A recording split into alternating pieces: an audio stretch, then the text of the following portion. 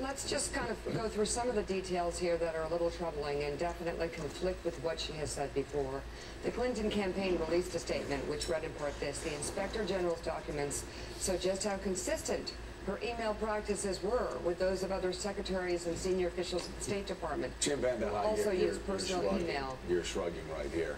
I mean, it- Even that's not accurate. it's Yeah. pretty remarkable. and nobody reading that thinks it's accurate. That's why That's, I- the problem. They That- keep digging it Re- deeper Remember hole. a couple It's weeks ago, Mika, where I said the, the remarkable thing about the Clintons during the 1990s were that they, was on the Government Reform and Oversight Committee, they would bring people in like Bernie Nussbaum Yeah. who would lie to us.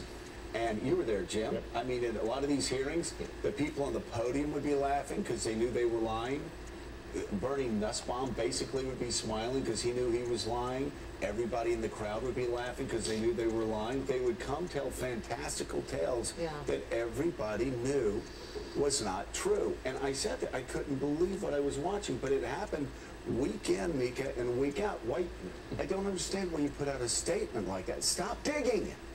Stop digging. I screwed up. I'm terribly sorry.